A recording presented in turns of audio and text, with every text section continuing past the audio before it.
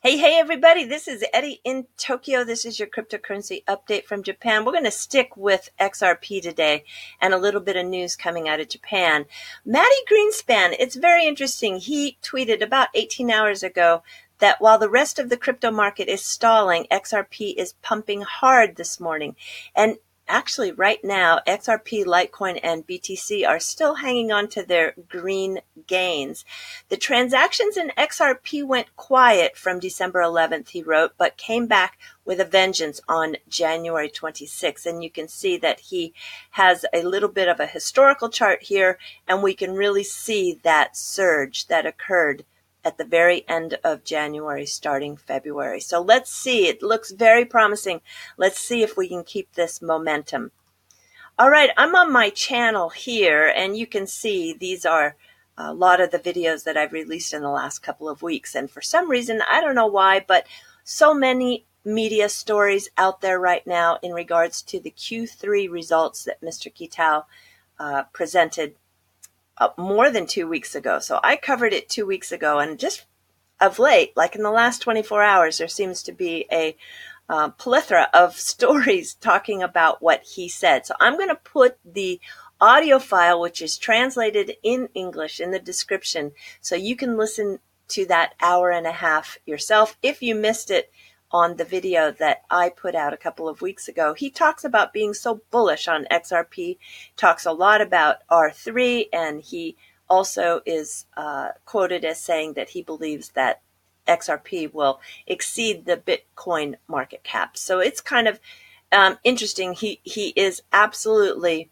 the raging bull for XRP. But if you are reading those stories and you want to know where the source is coming from, it is that hour and a half presentation and it's translated in English for you. Okay. Well, this created a little bit of a stir. So the company Traders Way, which is an FX broker, they said that payments are now available. Ripple payments are available now. And the Traders Way is a prime online Forex and CFD broker, and it's pleased to offer one more payment option to its clients, Ripple. And the new money transfer option added to, and then they have a Facebook announcement. And I think everyone was thinking, wow, did XRP really crack the nut of FX? And the fact that they were using Ripple. And I kind of thought, hmm, this is this is maybe they've got it wrong because you know the Ripple, the company, and XRP, the digital asset, they have branded uh, themselves in two different entities. And still, there's a lot of people that are calling uh, wrongly XRP, they're calling Ripple. So I think there's just a lot of people who are a little bit behind.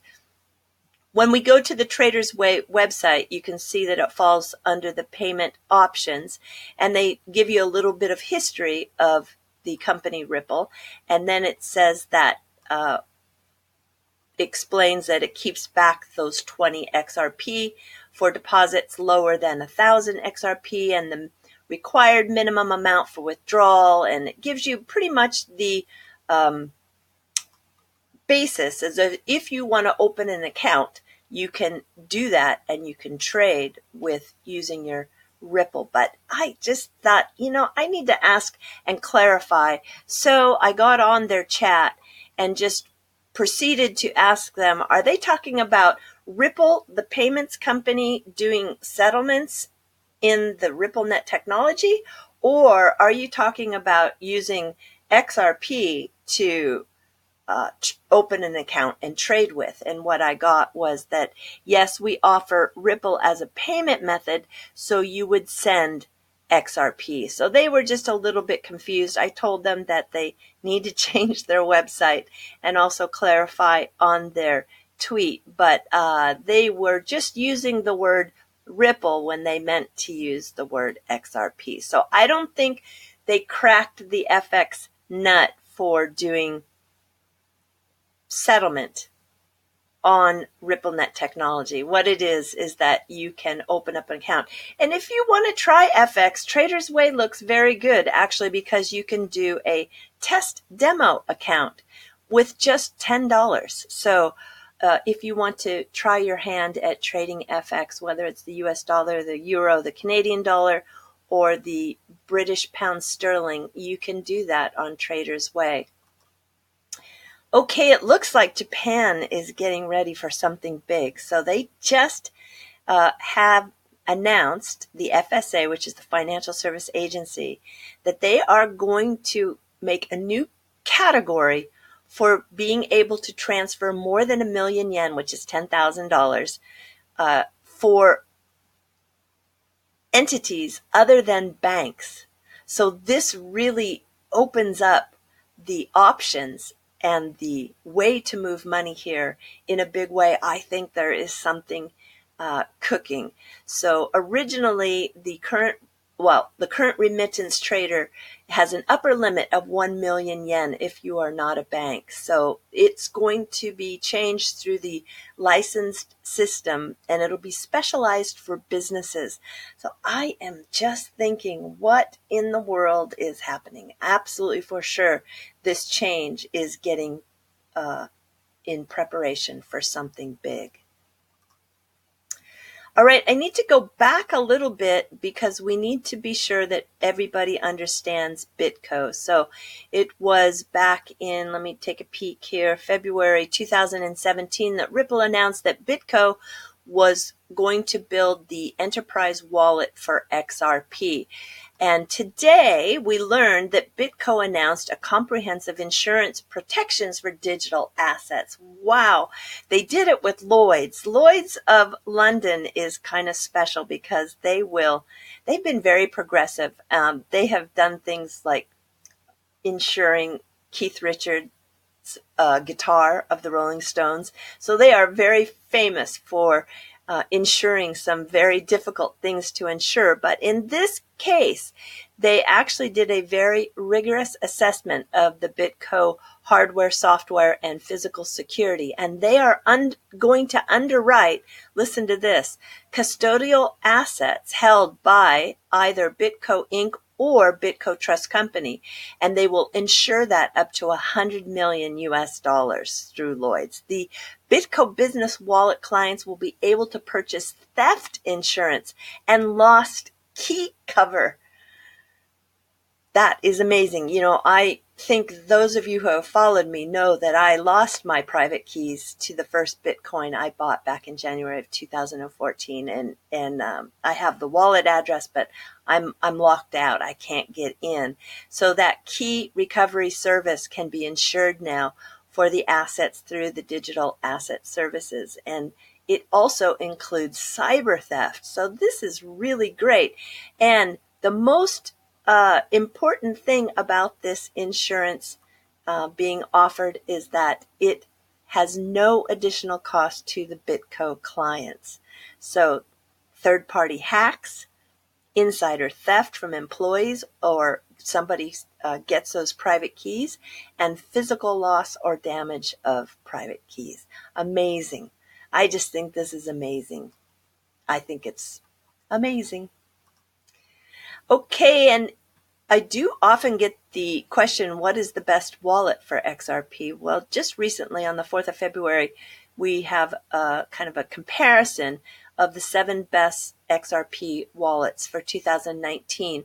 And I will put a link to this down in the description. And you can see here this CoinPayments, which is rated third. It gets uh, five stars. It is actually secured by BitGo.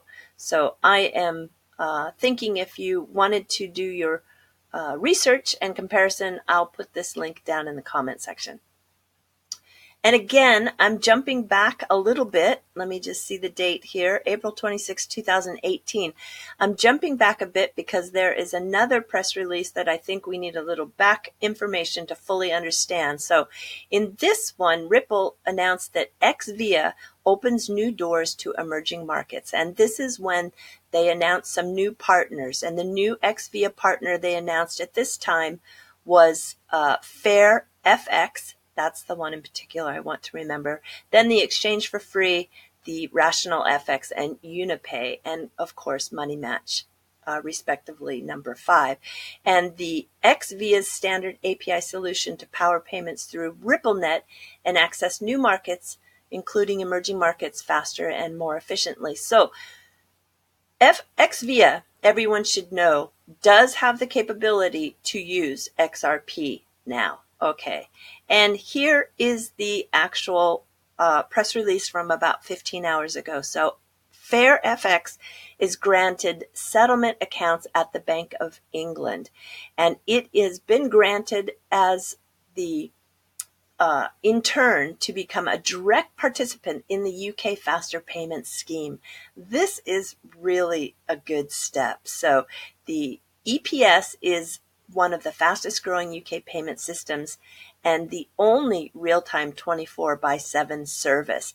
And when I take you actually to their website, we can see how the faster payments work. So you have a remitting customer, and then you can choose a choice or channel. And then, of course, the payment instructions are given to the bank, and then the sending bank makes sure that it goes to the receiving bank so that the beneficiary or customer can receive its money.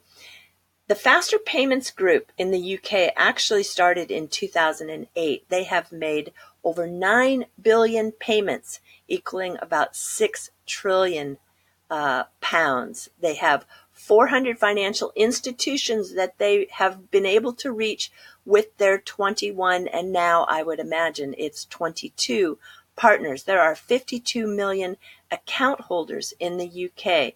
If we look at their partners, you can see you're going to recognize a lot of names like Citi and Barclays, and you even see Lloyd's, HSBC, some big ones here, Santander, TransferWise, which we know that the CEO just recently uh, left and he was on the fence for using the RippleNet technology. I think Ripple has a great chance to go back and pitch them again.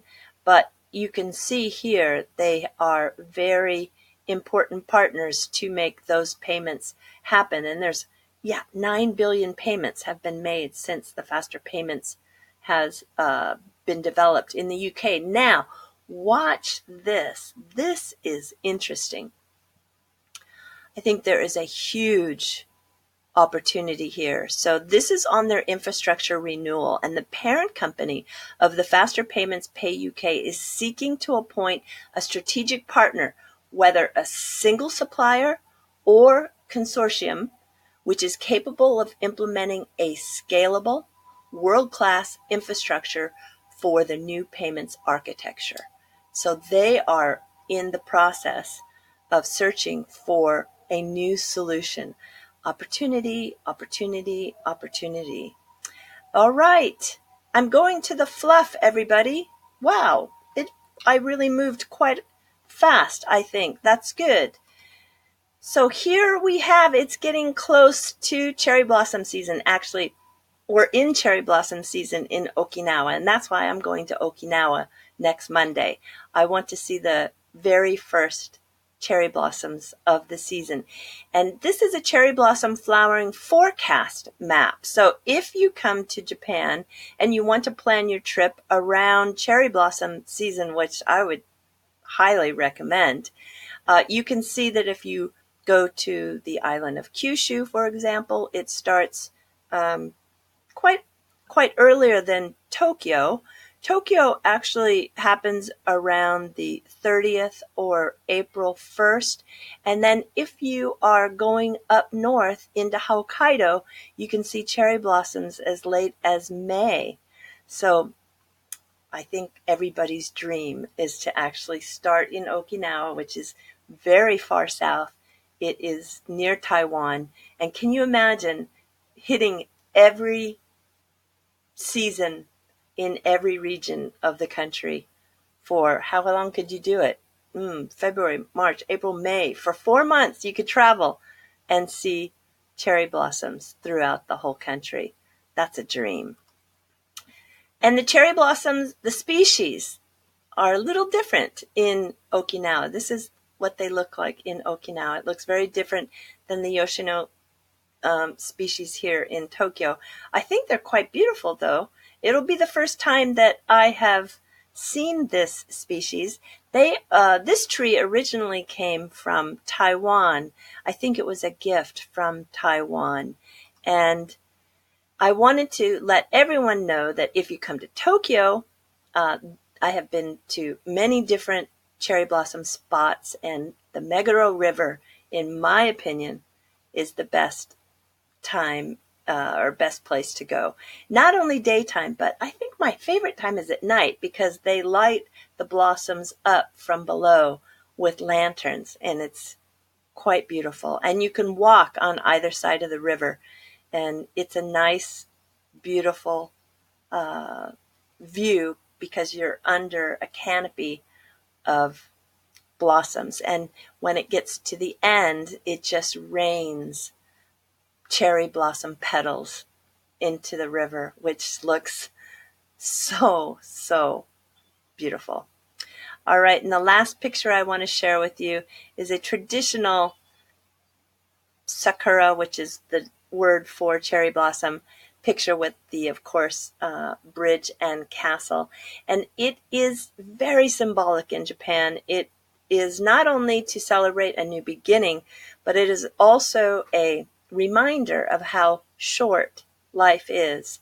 And the haiku poetry has been uh, written for centuries with the theme of cherry blossom. And I was just going to read you a short one by one of the great haiku masters, Issa. So even an old man has New Year's eyes, cherry blossoms. Short, sweet, very nice.